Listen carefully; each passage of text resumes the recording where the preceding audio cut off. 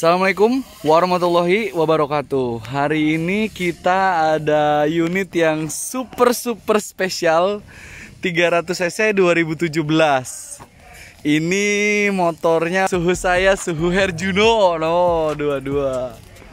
Tapi ini originalnya punya Pak Haji Taufik BSD ya. Cuman ada kesamaan nomor ada kesamaan desain. ini motor spesial teman-teman. Ini uh, dari awal pakai sampai hari ini nggak mau dijual. Jadi ini motor dirawat terus, diurus terus. Lihat dong, masih mantep banget kan 2017 masih kayak gini. Oh, tampilannya dari belakang. Oh, ini 300 cc 2017 nih tankinya aja masih bening banget loh kan? Masih sangat-sangat bening sekali. Oh rantainya terawat. Oh discard depannya ini motor kalau secondnya dijual ini rebutan ini orang-orang. Motor ini masuk kategori langka ya teman-teman. Karena untuk 2017 300 cc warna ini hanya satu atau dua orang yang punya. Ini warna original KTM, belinya dari luar negeri, uh, bodinya. Ya, jadi 2017 yang full oranye kayak gini, itu uh, setahu saya sangat terbatas yang punya ya teman-teman.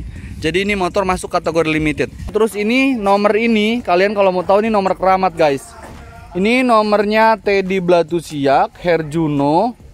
Itu masih anak buah yang punya motor. Nomornya Johnny Walker.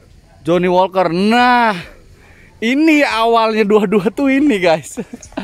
Sebelum ada kemerdekaan Indonesia itu udah tercetak nomor dua-dua ini sama Pak Haji.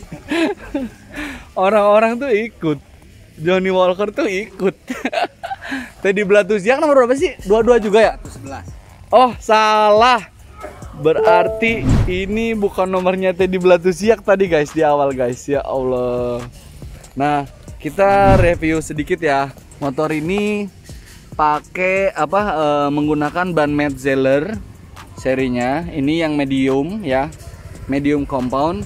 Ini sudah pakai disc guard pastinya. Sudah pakai radiator guard juga. Ini e, untuk fannya pakai yang spal dari KTM ini yang otomatis ya. Ini yang pakai temperatur.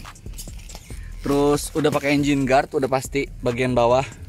Karena ini penting banget buat nyangkut-nyangkut buat ngerel-ngerel Gearnya 50 14 guys. Ini disc guardnya belum dipasang sepertinya karena suka terbang-terbang jadi percuma nggak dipakai. Ini lulusan gaje guys kemarin. Ini bekas disiksa ke gaje masih mulus gini ya. Punya aku bodol. Ini udah ada engine guard juga ya dari sebelah sana tadi tembusannya. Ini udah pakai V-Force 4 ya guys. Tuh lihat. V-Force ini buat teman-teman yang belum pernah nyobain atau orang-orang di luar sana yang punya motor SE, punya motor lokal, ada aplikasi Piporsnya, saya sarankan untuk beli atau pinjem dulu punya temen, cobain. V-Force itu berpengaruh banget, khususnya di tarikan bawah dia jadi lebih semut, menurut saya ya, nggak terlalu liar. Di tarikan atas motor tidak terlalu liar, tapi ngisi terus full sampai dengan gas motor habis. Itu pengalaman saya. Jadi V-Force itu kalau di injeksi kayak punya motor saya ini kan karburator saya belum pernah nyobain uh, V-Force di karburator. Nah kalau V-Force di injeksi saya saya rasain dia dari bawah itu motor tidak seliar yang awal yang awal sebelum pakai V-Force dia lebih smooth sedikit agak terkontrol motornya nggak terlalu backlip banget. Nah nanti pas di tengah sampai ke akhir itu ngisi penuh padat gitu. Itu pengalaman saya dan itu tuh nikmat banget kalau di jalur lumpur atau di jalur speed gitu guys. Jadi gua rekomendasi kalau nggak mau beli boleh pinjem punya temen dulu coba dulu guys. Oke. Okay. ini dari sini sudah pakai diskat depan pelindung sama ini udah pakai tali evakuasi kalau orang bilang. Ini memudahkan kita kalau kita lagi stuck di jalur sama ini udah pakai stang stang bag. Ini untuk joknya juga pakai yang KTM original. Satu lagi saat teman-teman beli KTM itu ada beberapa tombol yang wajib teman-teman tahu. Yang ini lampu ya ini cut off ini klakson. Nah ini setelan basah sama kering untuk uh, pengaturan oli samping pada bahan bakar. Dan ini biasanya dirasakan pada saat kering motor lebih liar. Kalau setelan basah motor akan lebih uh, smooth. Biasanya untuk jalur-jalur licin kita pakai yang smooth. Kalau untuk jalur speed atau ekstrim yang kategorinya butuh tenaga-tenaga gede uh, motornya ngebut ya. Nah itu kita pakai yang kering oke? okay? Itu perbedaannya. Dia akan lebih liar. Jadi kalau setelan kering teman-teman pakai di jalur licin itu nggak cocok. Ingat-ingat ya. Jadi kita selain kita punya duit kita juga harus punya ilmu. Jadi nanti pas pakai KTM aman oke? Okay? nah itu satu. Yang sebelah sini udah ya semua ya. Nah sekarang kita ini ini starter ya. Sebelah sini starter. Dan ini ada namanya speedometer. Speedometer KTM itu fungsinya ada dua. Yang umum orang ketahui. Oke, kita nyalain dulu untuk memancing untuk memancing dia nyala.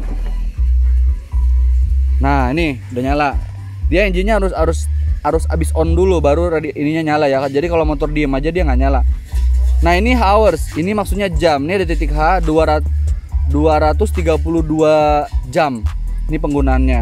Untuk kilometer pakainya Odo. Odo itu 500 5731 km. Itu ciri-ciri kalau teman mau beli KTM, jadi hati-hati ya. Oke, itu itu acuannya ya.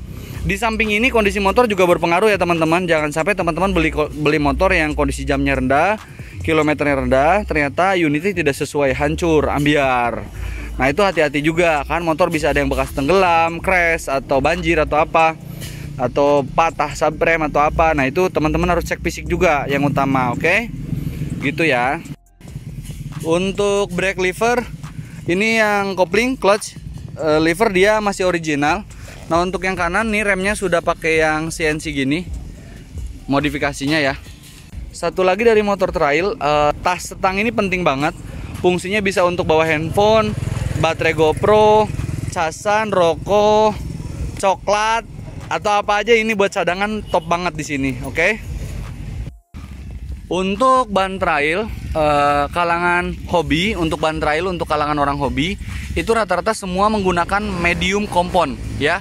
Jadi jarang banget yang pakai soft kompon kecuali pemain hard enduro, balap MX segala macam. Nah, itu orang-orang yang punya track khusus dia pakainya soft kompon. Tapi hampir semua orang Indonesia uh, menggunakan medium kompon itu lebih awet tapi bannya kenyal maksudnya dia tetap lembut tapi tetap awet untuk ngegerus jalur kayak model batu cadas atau gravel begini kalau yang medium masih kuat oke okay? uh, eh, harga satu setnya untuk ban KTM ini buat teman-teman yang belum tahu uh, seingat saya itu belakang itu 12 ya 12 sampai 13 nah yang depan ini lebih murah 900 sampai 1 juta. Jadi ancer-ancernya 21 sampai 22 atau 21 22 sampai 23 itu udah dapat satu set. Itu kalau kita bicara pakai Maxis ya. Selevel itulah. Nah, di atas itu ada yang lebih mahal lagi. Michelin, Dunlop, uh, Metzeler, kelas-kelasnya itu beda-beda. Tapi rata-rata kalau yang harga medium dari tiga tipe ban itu harganya seragam. Beda-beda 50.000, beda-beda 100.000. Jadi teman-teman sebelum memutuskan beli ban sebaiknya browsing dulu informasinya karena setiap pabrikan itu ada kekurangan ada kelebihan ya. Untuk jalur Indonesia yang paling awet menurut saya adalah Maxis. Kenapa Maxis paling awet? Saya pengalaman pakai Maxis itu rata-rata di atas satu tahun. Padahal saya suka jalur yang lumayan uh, rusak ya, kayak batu gitu-gitu saya suka. Nah itu awet kalau Maxis. Belinya yang medium dan biasanya yang cepat habis dalam setahun itu contohnya itu cuma ban belakang ya itu kalau kita bicara irit kalau kita bicara pemakaian biasa kita maunya top condition terus motornya 6 bulan 7 bulan ganti kadang lima bulan ganti tergantung dari kita pakai motor ya kalau sering-sering ngegas ya kita evaluasi kalau udah di bawah uh, 85% ganti guys oke okay? karena itu berpengaruh banget ke traksi gitu Selain itu hal yang perlu diperhatikan kalau kita pakai motor SE itu pertama cek radiator dulu ya sebelum ngegas ya. Ini ini lubangnya di sini. Nah ini nyambung ke sini. Jadi kalian nggak usah mikirin yang ini ngisi di sini aja refill. Nanti kalau penuh dia netesnya dari sini. Oke? Nah sebaiknya setiap sebelum main kalian teman-teman harus cek dulu ya karena kalau kosong ini fatal banget. Motor bisa hancur mesinnya. Oke? Untuk yang penasaran kita dengerin suaranya dulu ya. Ini ciri-ciri motor sehat guys. Lu kalau nyetater motor nggak usah ribet pencet ini tarik ini nggak usah. Pencet aja satu klek asik. Kan. Nih dengerin nih.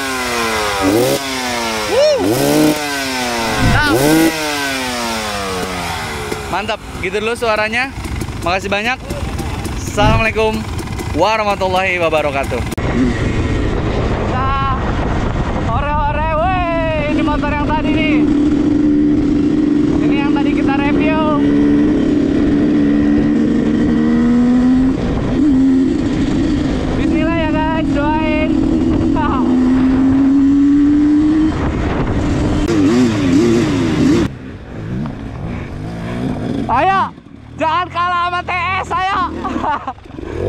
快点